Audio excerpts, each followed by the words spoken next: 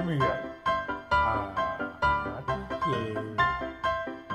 É. Tá bom, fica.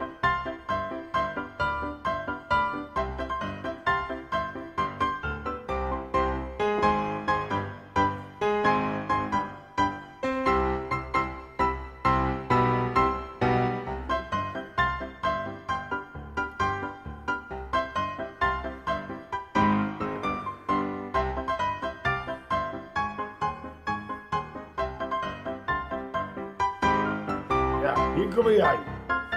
Vou fazer, the um